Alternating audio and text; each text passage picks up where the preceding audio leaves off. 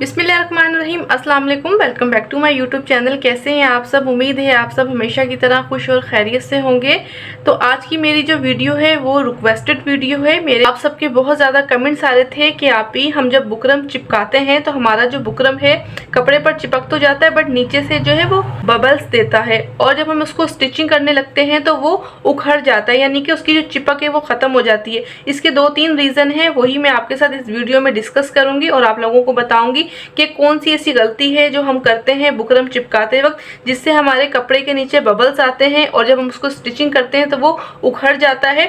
और कौन सा वो तरीका है जो हम यूज़ करेंगे जिससे हमारे बुकरम के नीचे बबल्स भी नहीं आएँगे और बहुत ही परफेक्ट तरीके से हमारी स्टिचिंग होगी बुकरम के ऊपर। तो चलिए वीडियो स्टार्ट करते हैं और जानते हैं सीक्रेट्स तो इस वीडियो में मैं आपको दो बुकरम चिपका के दिखाऊँगी। एक रेगुलर बुकरम, जो हम हर बार अपने गलों के ऊपर यूज़ करते हैं, गला बनाते हैं, शेरवानी बनाते हैं, और दूसरा है ज़ीरो का बुकरम, जो कि मैं हमेशा डिज़ाइनिंग में यूज़ करती हूँ। जैसे ट्राइंगल बना लिया, कोई बॉर्डर पेस्ट कर लिया, या कोई भी ऐसी डिज़ाइनिंग जो पिंटिक्स वगैरह डलती हैं तो उसमें भी ये रेगुलर ही हम कहेंगे हमारे वर्क का हिस्सा है। ये बुकरम भी चिपका के दिखाऊँगी मैं आपको, और ये रेगुलर बुकरम, जो थोड़ा सा थिक है। तो ये है मेरे पास एक कपड़ा। ये है लीलन का कपड़ा, आप इससे लॉन का कपड़ा भी कह सकते हैं। आपके पास थिक कपड़ा है, नॉर्मल कपड़ा है, कोई भी कपड़ा है एक्स वाई जेड सबसे पहले तो हम इस कपड़े के ऊपर करेंगे प्रेस। इसकी जो भी नम है सरवट है, उसको निकाल देंगे। जस्ट मैं आपको एक छोटे से पीस के ऊपर सिखा रही हूँ, ठीक है? ये देखें। ये बिल्कुल इसकी सरवटें वगैरह निकल गई है। हमने जो अपनी प्रेस रखनी है, हमने अपनी प्रेस रखनी है तीन पर। ठीक है, जब हम इसको हार्ड हीट देते हैं तो उससे भी हमारा बुकरम सुकड़ सा जाता है, इसलिए बबल्स आ जाते हैं। आपने अपनी प्रेस को रखना है तीन पर, और ये बुकरम का सीधा साइड है जो चिपकेगा, जिसमें आपको शाइन दिखाई दे रही है।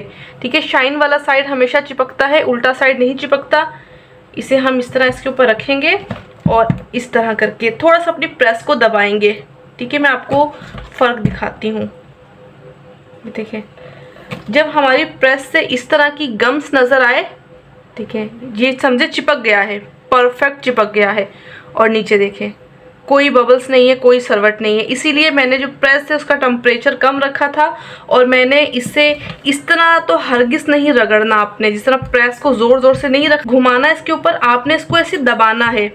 प्रेस की नोक से अपने बुकरम को दबाना है कपड़े की तरफ़। ये लीजिए। स्त्री की जो हीट है वो आपने सिर्फ़ तीन पर रखनी है। अगर आपकी स्त्री स्लो गर्म होती है तो आप चार या पाँच कर सकते हैं। अगर आपकी नेशनल की है तो तीन इनफ है। ये देखें। जब हमारा बुकरम अपने कपड़े पे चिपक जाता है तो वो इस तरह की जो है वो गम्स छोड़ता है। ये इसका समझे तरीका है कि बुकरम चिपक गया है। तो मैंने आधा बुकरम चिपकाया है और ये देखें, ये नहीं निकलेगा। और मैं आपको इसको पलट के भी दिखाती हूँ। कहीं कोई बबल्स नहीं है, कहीं कोई झोल, कोई सरवट नहीं है, यानी कि ये परफेक्ट है, ये डन हो गया। तो आप जो मिस्टेक करते हैं, या तो आप बहुत ज़्यादा स्त्री को गर्म लगाते हैं, या आप इसको दबाते नहीं होंगे। आपने प्रेस से बुकरम को दबाना है, इस तरह करके। ज़्यादा भी नहीं दबाना, बस इतना दबाना है कि हमारा जो बुकरम है, हमारे कपड़े के ऊपर चिपक जाए। मैं आपको पूरा बुकरम पेस्ट करके दिखाऊँगी।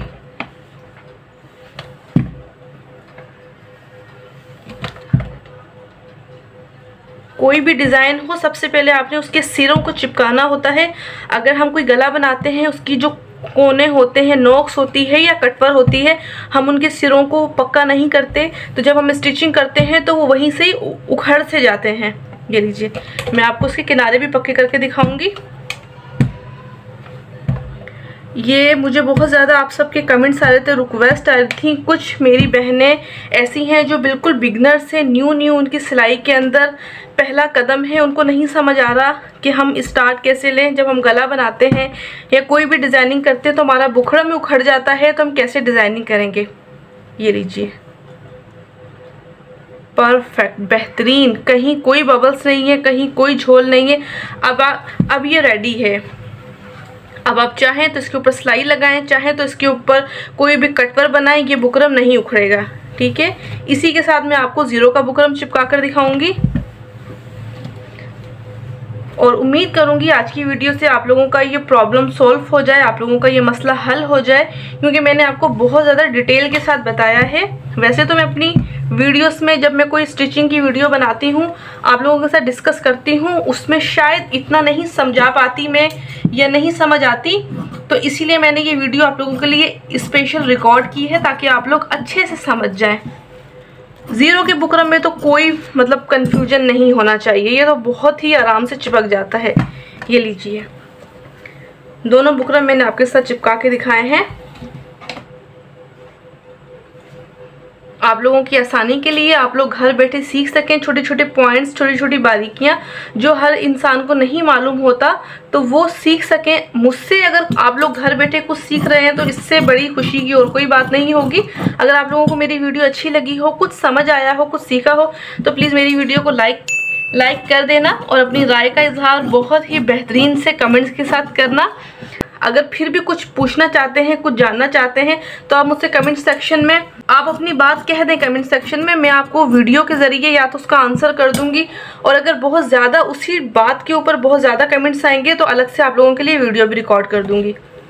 तो दोनों बुकरम मैंने आपको चिपका के दिखाए हैं ज़ीरो का भी रेगुलर बुकरम भी, इन दोनों में कहीं कोई बबल्स नहीं है। तो इस वीडियो को हम यहीं पर करेंगे एंड। ये वीडियो इसीलिए मैंने रिकॉर्ड की है अपने काम से थोड़ा सा वक्त निकाल के।